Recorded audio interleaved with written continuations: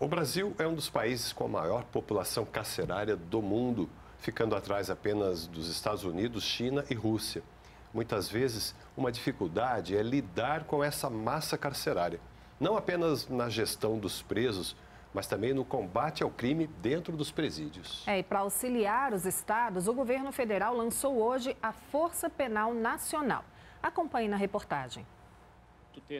De acordo com o secretário nacional de Políticas Penais do Ministério da Justiça e Segurança Pública, a Força Penal Nacional irá atuar junto aos estados, quando solicitada, por períodos específicos, no apoio à gestão de estabelecimentos penais.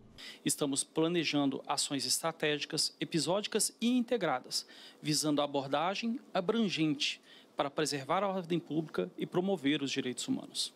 Segundo o ministro da Justiça e Segurança Pública, a Força Penal Nacional é fruto das experiências bem-sucedidas da Força Tarefa de Intervenção Penitenciária, que atuou no Rio Grande do Norte e em Pernambuco. Para Flávio Dino, só será possível combater as organizações criminosas brasileiras atuando fortemente nos presídios. As facções brasileiras estão com muito dinheiro.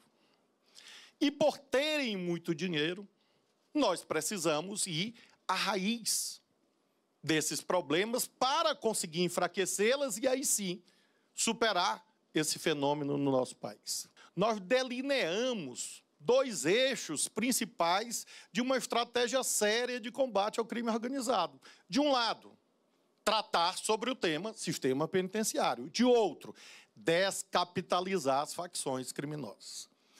Isso funciona mais do que ações demagógicas de sair dando tiro a esmo. Tiro a esmo serve para fingir que se está fazendo alguma coisa. Mas combate ao crime organizado é o que nós estamos fazendo.